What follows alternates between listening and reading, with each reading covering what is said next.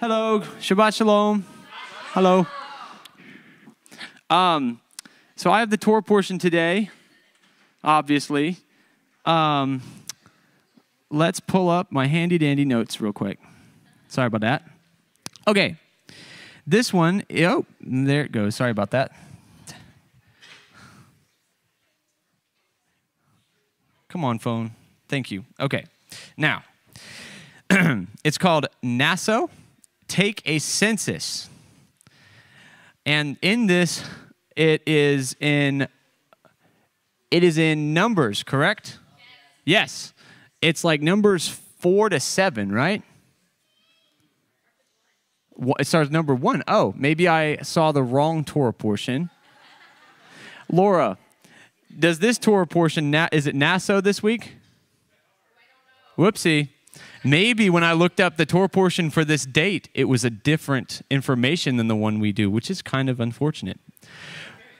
But let's see here laws about the transportation of the tabernacle, Nazarite vows, the jealous husband communities, responsibilities for ceremonial uncleanness, the priestly blessing, which is really great, and the consecration of the tabernacle. Much, much, much more than I can do any justice to. So I will talk about just one verse after, uh, and this is, of course, assuming I found the right Torah portion. After 88 verses in chapter 7 in Numbers regarding the consecration of the tabernacle and collective offerings from the chiefs of each of the 12 tribes, it ends. So there's a lot, a lot of repetition and a lot of, um, a lot of, of ceremonial stuff, rites and stuff that God commands. And after all of that, it wraps up in verse 89. And when Moses went into the tent of meeting to speak with Yahweh, he heard the voice speaking to him from above the mercy seat that was on the ark of the testimony, from between the two cherubim, and it spoke to him. Man, would anyone like that? Would anyone really, really just not want that? Because that would make them terrified for their life. Both. After all the work of dedicating the tabernacle and its consecration, Moses heard the voice of God. Do we hear the voice of God? Why and why not? I tend to over scrutinize whoever's speaking in front of me. I will run it through a sieve, run it through a filter, whatever, and try to verify if what they're saying is scriptural if their attitude seems sincere, et cetera, and so forth, which is great. We're supposed to be shrewd as serpents, right? As harmless as doves. But you can be too shrewd, and then you end up filtering out all the minerals and all the stuff the Spirit's trying to speak to. Because if you're sitting there being so shrewd that you can't let the Spirit speak to you, you can't get the nutrients. But then there's some who don't scrutinize at all because they believe in the power of God, but they don't they forget to be as shrewd as serpents. And so they believe whoever speaks authoritatively, whether or not it's scripture or whether they're sincere. And then you fall into false doctrine and false ways of living and, and tickling ears and all that stuff too, which is neither neither are good on either side of the line. Um, we are the children in the marketplace. I'm sorry, that was a total change of subject. We are the children in the marketplace.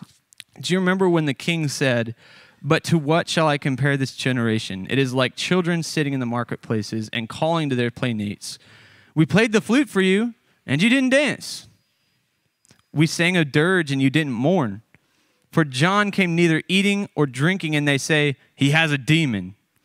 The Son of Man came eating and drinking, and they say, Look at him, a glutton and a drunkard a friend of tax collectors and sinners, yet wisdom is justified by her deeds. When his apostles ask, Tell us, when will these things be, and what will the sign be of the, your coming and at the end of the age? Yeshua says, after describing events that cannot have even now taken place fully, Truly, I say to you, this generation will not pass away until all these things take place. This generation will not pass away for your consideration, I think we are of the same spiritual generation as believers then, in how we approach our relationship with Him, and that we will not allow ourselves to be moved. In Acts, Peter, having just been baptized with the other followers of Yeshua, baptized with the Holy Spirit, addresses the great crowd of people gathered in Jerusalem to celebrate Shavuot. And with many other words, he bore witness and continued to exhort them, saying, Save yourselves from this crooked generation. So those received his word and were baptized, and there were added that day about 3,000 souls. By the Holy Spirit through Peter, they were moved. On this rock I will build my church. Peter. Nothing will move us because of pride. Someone speaks about God's biblical grace, and we think, so you're saying I can do anything I want because I believe in Jesus? Someone will speak about God's biblical power, miracles, revelation, and prophecy, and, we, and, and how he can still do it all today, and we think, you want God to perform for you, don't you?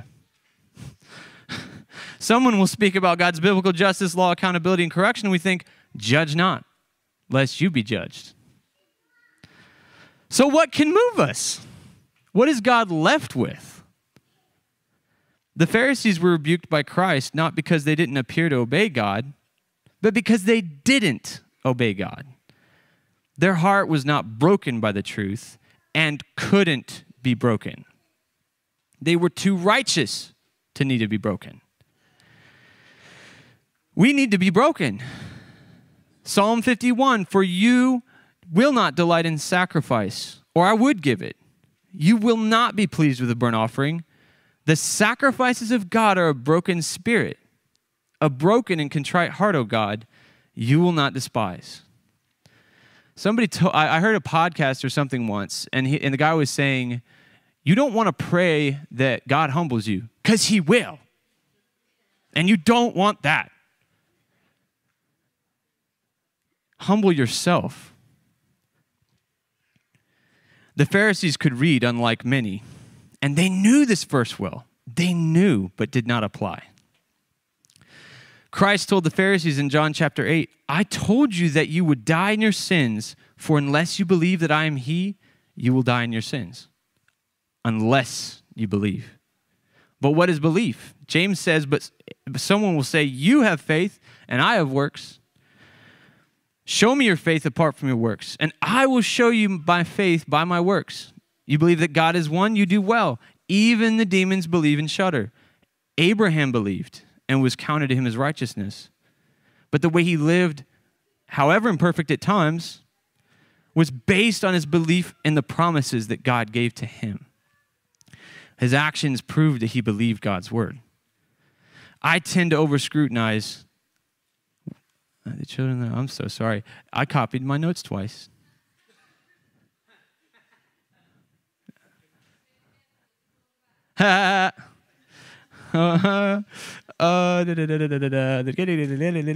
I was just getting good too. I read when Moses. Um, oh, okay. At the beginning, I read, and when Moses went into the tent of meeting to speak with Yahweh, he heard the voice speaking to him above the mercy seat that was on the ark of the testimony from between the two cherubim, and it spoke to him. Moses had believed enough to obey, and only then did God begin to speak. We are told that Moses was the most humble man on earth. He was obedient. This is largely why God chose to reveal himself so intimately with Moses. And there has not arisen a prophet since in Israel like Moses, whom Yahweh knew face to face, none like him for all the signs and the wonders that Yahweh sent him to do in the land of Egypt, to Pharaoh and to all his servants and to all his land, and for all the mighty power and all the great deeds of terror that Moses did in the sight of all Israel. The resume of the humblest man on earth. but one has arisen greater the Son of God, Jesus Christ and though he was greater than Moses, he was more humble. Right? Because he was God. He humbled himself and took on the form of a man. He chose to humble himself. Forgive me if this is too like inaccurate. I think it's accurate, but it, I came to this thought. I was like, humility, I would try to define it as knowing your place and walking in it. Because some of us are in positions of greater authority than others. So how does anyone everyone stay humble at the same time? Because you're in your place because God put you there because he's greater than everybody and everybody is all one in Christ. God defines everything. Humility. And again, filter through everything that you need to on that, but that's what came to me. So let's humble ourselves and see the greatness of God's plan for us unfold. Shabbat Shalom.